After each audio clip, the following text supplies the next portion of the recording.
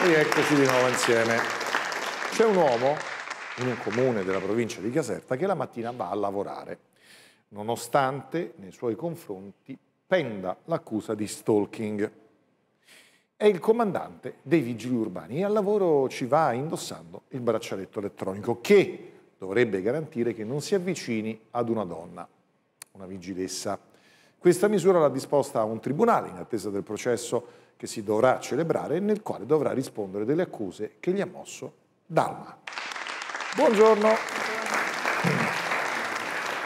Allora, lei eh, ha denunciato quest'uomo per stalking, ma immagino abbia avuto una relazione. Sì. Eh. La mia storia con lui è iniziata a seguito del mio trasferimento per lavoro nel comune di Cellole e, e lui si è reso disponibile ad ospitarmi nella prima fase eh, per permettermi appunto di, di trovare una collocazione e di organizzare la mia vita lì. Che tipo di relazione era? Inizialmente appunto è iniziata come conoscenza, poi questa simpatia si è evoluta e è diventata una relazione con alti e bassi perché era molto presente, io avevo capito che non, non poteva essere l'uomo per me, eh, però eh, trovavo difficoltà nel, eh, nel lasciarlo, nel dirglielo, poiché era molto presente lui, molto, sì, ho visto che era molto preso. Lui comandante, lei sottoposta, sì. Eh, vi è mai capitato di lavorare insieme? Sì, sì, lui era il mio comandante, era sempre lì presente. E mm, a un certo punto poi che cosa è successo? Ha lasciato il lavoro e come è arrivata a lasciare il lavoro? Allora, io sono stata richiamata in Umbria da un'altra graduatoria dove stavo aspettando di essere chiamata, quindi sono tornata a casa mia e lui non ha accettato questa fine della relazione. Eh, così eh, si autoinvitava, veniva a casa mia eh, e poiché lui era stato comunque gentile nell'ospitarmi, eh, anch'io ho fatto lo stesso, però iniziava a essere anche molto troppo presente, molto mm, possessivo. E, mh, scusi, sono emozionata.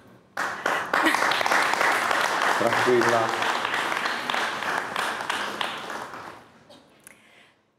E quindi ho iniziato a chiamare tutte le, mie, le persone a me vicino, le mie colleghe, eh, mio padre, tutte le persone che comunque per... mi giravano intorno per screditarmi, perché appunto questa relazione non, non, sopportava fosse finita e quindi cercava di mettermi in cattiva luce. Però, mi scusi Dalma, lei immagino sia stata chiara a un certo punto. Eh, fine... Sì, sì, sì, sì sono stata eh. chiarissima. Sì, sì, ho detto che eh, la storia non poteva più andare, quindi... In buoni rapporti? Sì, sì, ho cercato di mantenerli buoni i rapporti proprio perché, essendo comunque eh, un collega, ho detto è sempre bene tenerli buoni i rapporti. E, ehm, Ma poi in generale, voglio dire, le storie possono finire, eh, uno può rimanerci male o meno, ma fa parte della vita. E quindi quando il suo ex comandante ha capito che le sue premure, che la sua insistenza era inutile, cosa ha fatto? Beh, mm, è stato proprio dopo che io l'ho lasciato, lui ha iniziato a farmi dei regali, a propormi viaggi anche a titolo di amicizia, eh, a, mm, per essere più presente possibile nella mia vita cercava di di fare più cose possibili mm. e quando ha visto che però non, non c'era più modo di, di poter stare insieme eh, ha iniziato tutta una serie di chiamate, messaggi, anche durante la notte, anche la mia collega, insomma ha iniziato a stalkerizzarmi e poi è arrivato al punto di bruciarmi l'auto. È entrato nella mia privacy, è entrato quindi in casa, mi ha rubato tutte le password perché io le avevo scritte in un foglio vicino al computer, eh, tutte le password eh, dei social e, e, da lì poi ho contattato tutte le persone vicino che mi chiedevano anche semplicemente di prendere un caffè insieme. E lei come ha reagito a tutto questo? Io quando ho visto la mia, cioè mi, mi hanno chiamato quella mattina dicendomi che la mia auto stava bruciando, io mh, mm, ho subito capito innanzitutto che era lui. Beh, un conto è capire, un conto magari sì, poi, avviare un'indagine. Sì, sì, i carabinieri sono stati bravissimi, non hanno lasciato nulla al caso, infatti li ringrazio tantissimo. E, ehm, e mi hanno detto però che dovevo denunciare perché eh, ho raccontato tutto quello che mi stava succedendo e inizialmente ho denunciato eh, contro ignoti perché non avevo la certezza che fosse lui e poi con le indagini eh, si è capito che, che era lui. Quindi è entrato in casa sua? Sì. Si è appropriato delle password? Sì poi l'auto quella, eh sì, quella mattina, quella mattina, è stato fermato dalla Polizia di Stato mh, vicino a casa mia. Mm. Eh, da Caserta sì, in Umbria? Sì. Eh, e le celle telefoniche hanno agganciato sotto casa mia, del cellulare. Eh, una telecamera ha ripreso, perché sulla, per venire a casa mia c'è una sola telecamera, che riprende verso la strada, quella del meccanico, e passa proprio una Mercedes. E, um, un vicino si alza durante la notte, vede tappare, dalle tapparelle della, della finestra eh, delle fiamme, si affaccia e vede un uomo che, eh, che mi brucia l'auto e poi scappa via con questa Mercedes, e lui ha una Mercedes. A quel punto immagino che la denuncia sia stata inevitabile. Sì. sì.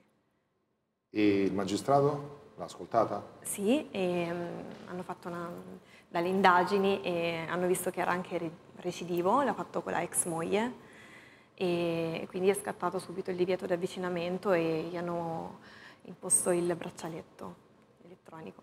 E? Ha funzionato? Beh, eh, lui comunque ha continuato a farsi sentire anche dopo, nel senso che ho ricevuto richieste d'amicizia eh, su Facebook, comunque ha continuato. Non l'hanno oh, fermato. Eh, la cosa singolare è che nonostante tutto quello che ci ha raccontato, lui continui a svolgere la sua attività di comandante dei vigili urbani. Esatto, addirittura è stato promosso in più settori del comune. Questa è la cosa che mi ha lasciato lei è pubblico ufficiale, immagino che conosca bene le regole, davanti a una cosa del genere forse c'è qualcosa che non torna. Esatto. Vedo molto spaventata. Sì, no, sono agitata. Eh vabbè, almeno qui sta tranquilla, poi insomma, ecco.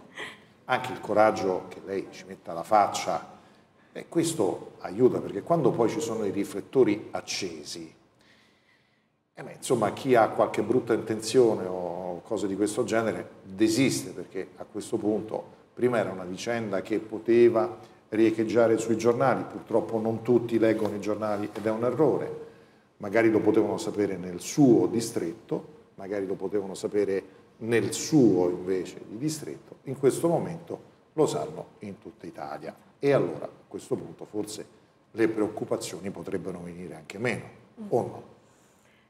Io sono comunque sempre preoccupata perché non tanto quello che può fare lui, ma se manda magari qualcuno.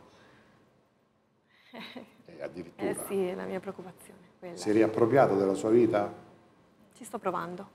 Ha delle persone vicino che sì. fanno... Ho il mio compagno attuale che mi sta molto vicino, le mie colleghe, eh, che ringrazio tantissimo, anche il mio comandante.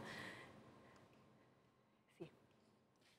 Ha il suo compagno allora, nella vita a turno, belli o brutti, siamo stati lasciati tutti.